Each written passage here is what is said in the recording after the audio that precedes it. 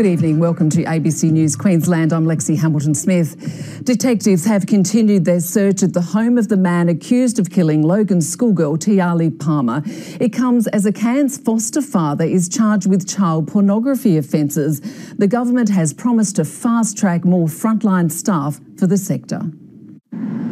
For a fourth day in a row, investigators scour the Chambers Flat property. Once a home for 12 year old Tiahleigh Palmer, now a crime scene. Police have been blocking windows and removing furniture in their hunt for clues into the schoolgirl's murder.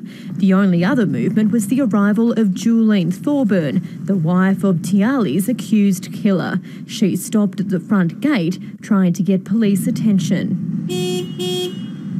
Tiahleigh Palmer lived with the family for 10 months before she was allegedly killed by her foster father, Rick Thorburn. Her foster brother, Trent Thorburn, has been charged with incest and perjury.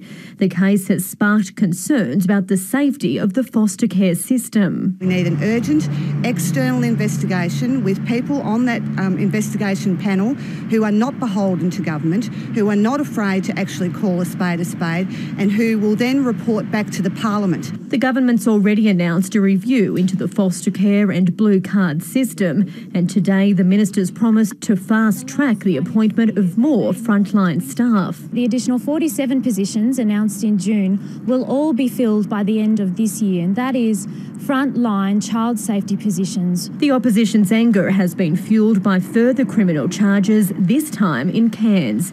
A foster father of three has appeared in court over multiple alleged child pornography pornography offences. But when we have foster carers like these two over the last week, the Minister needs to urgently investigate a public system under intense scrutiny. Allyson Horn, ABC News.